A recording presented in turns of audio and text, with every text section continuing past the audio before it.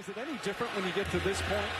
Not for the role players, because the, the superstars make it so much easier for the role players. But I tell you what, this place is as electric as I've seen in all of my years playing basketball. Klay Thompson, a difficult runner, comes up short.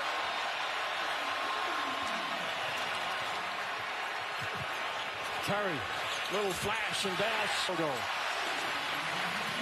Go. I like that aggressiveness. You like you get the matchup you like. Put your foot on the gas pedal and make a play. Iguodala, he missed game four, the clincher against Portland with a calf injury, but he's fine now. Uh, as Thompson misses, VanVleet, one of the heroes in the conference finals, and a huge fan favorite here in Toronto. He's come on.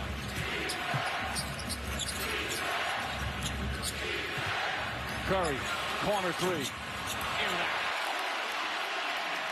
They've had exceptionally open three-point shots. They're trying to help, but there's been just leaving guys wide open. Steph Curry throws it up, can't get it the ball. Ball knocked around. And a loose ball foul is going to go. As this game progresses, where he can attack Iguodala and this Warrior defense. A struggle so far. Steph Curry gets inside, can't finish, fight for the rebound. Well, they're influencing Siakam to his left. So he's going to have to have some way to finish going that way. Nice finish by Siakam. Curry trying to draw the foul.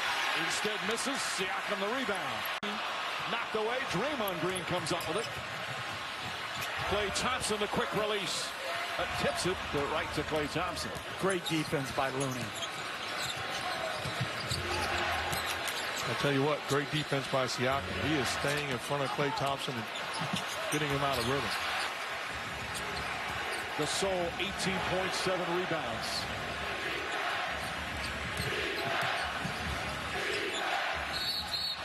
Offensive foul. Another one of those off the rim, rolling around and drops through for the Raptors. Curry with the floater. That won't go.